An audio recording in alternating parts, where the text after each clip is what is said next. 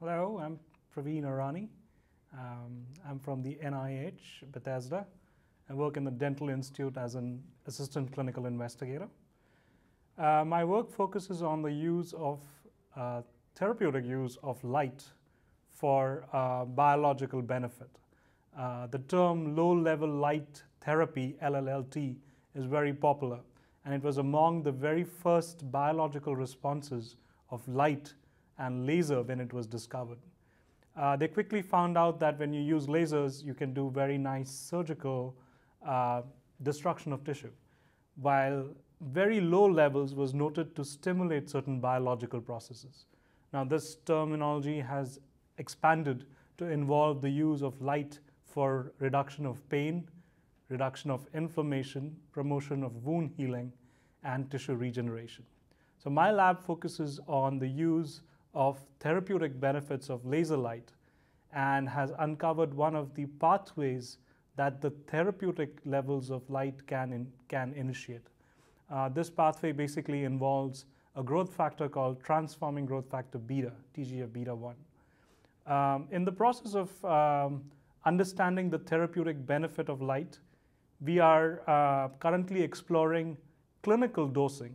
And this presentation in this meeting basically focuses on our recent work where we have been able to observe the dosing range of laser light from therapeutic to detrimental. The use of a laser as a surgical tool clearly destroys tissue very precisely and has additional benefits like a bloodless field. Um, but the, but the non-surgical use of light to stimulate certain healing processes uh, is the major focus of our interest. And this process, uh, also called low-level light therapy, LLLT, has been recently uh, renamed photobiomodulation therapy. And this is a new uh, medical subject heading term, mesh term, that the National Library of Medicine recognizes. So photobiomodulation therapy in the clinic um, has not moved forward much due to our uh, lack of knowledge on where the therapeutic dosing can end. Uh, in the presentation at this meeting, um, uh, we have been able to show that a certain amount of light can induce beneficial response.